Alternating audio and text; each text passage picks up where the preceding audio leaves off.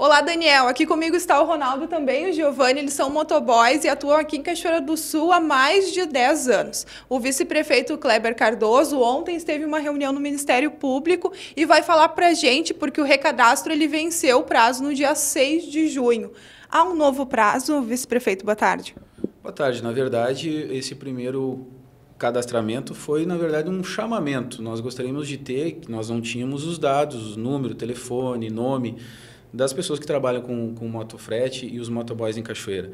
E isso, uh, uh, de certa forma, tivemos um êxito, porque, muito embora no cadastramento só dois participaram, informalmente a gente ficou com uma lista de quase 40 nomes, que essa lista ontem eu levei o conhecimento da promotoria, primeiramente para demonstrar a intenção da prefeitura em, em tentar regularizar a classe, como também cumprir né, o, o, o encaminhamento que foi feito em fevereiro pela promotora, ao mesmo tempo que demonstrar a ela o interesse que há né, também dos motoboys em se regularizarem. A gente percebe isso, né? há um consenso que todos querem se regularizar e não vai ser da noite para o dia que eles vão conseguir fazer isso, principalmente porque o curso, que é o principal item, vamos dizer assim, que precisa é, eles terem, não tinha o, o, a turma aberta ainda no município aqui, precisava de uma demanda.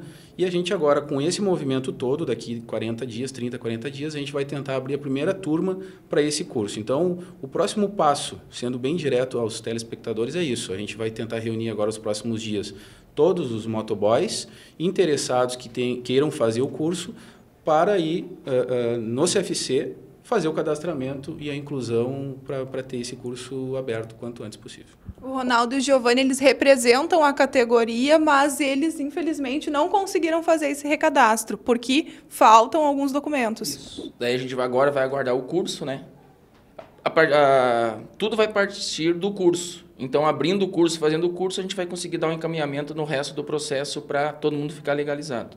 Hoje a lista de interessados tem quantos nomes? É, está na faixa de uns 40. Mas aí geralmente tem alguém que está fora, provavelmente dê mais, mais, no, mais número que isso, né? Mais pessoas que isso. E o que, que os colegas de vocês dizem?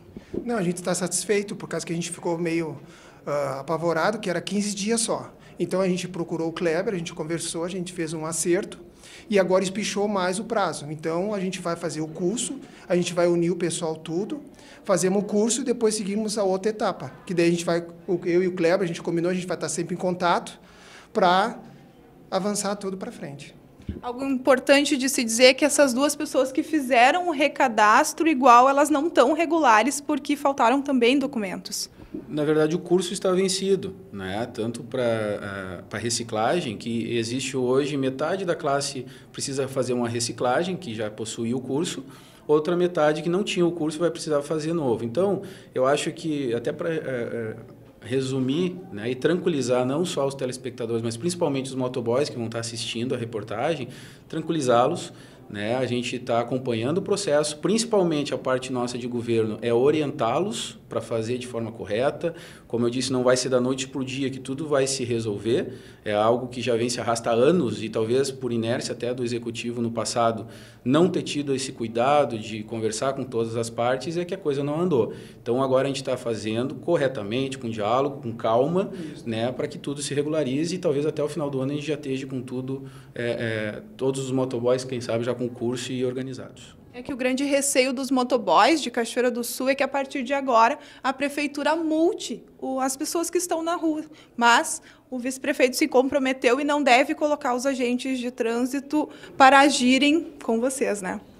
Na verdade, uma coisa não depende da outra. Né? E a gente percebe, é, todos eles Existe a classe do motoboy, existe o motoqueiro que é obrigado, o motociclista que precisa ter sua carteira, precisa ter sua regularização, assim como né, a gente percebe que todos eles têm o interesse agora em se uh, regularizarem diante do curso e de outros itens né, que precisam ser colocados. Como eu disse, a gente precisa mais é fazer o papel de orientação nesse primeiro momento, né, para poder orientá-los, para todos se organizarem e, e, e completaram, vamos dizer assim, essa etapa que ficou por muito tempo né, é, sem ter esse cuidado do poder público e também dos motoboys. Como que vai ficar se um desses motociclistas que trabalha profissionalmente se deparar com uma blitz? Como eu disse, é, na verdade, uma blitz ela, ela tem o papel de fiscalização, né, e eu não sou autoridade em trânsito, aí vocês teriam que entrevistar o nosso o responsável, né, que é o Vilmar ou a Jaqueline, para eles explicarem a questão técnica da Blitz.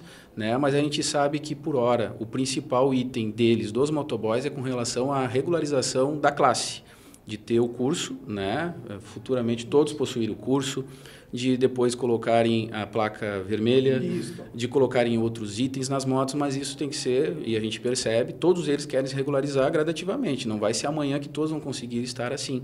Né? Então, esse é o que é o principal fator. Agora, Blitz, quando tu vê a questão de PVA vencido, questão de, de documentação vencida, sem carteira ou com algum problema, é corriqueiro acontecer e vem acontecendo, mas é outro, outra questão. A questão que está sendo discutida agora é da orientação que a prefeitura tem feito, através desse chamamento que foi feito, vai ser feito outro, né, após a primeira turma ser formada, vamos dizer assim, e as coisas vão acontecendo gradativamente. Muito obrigada por todas as informações.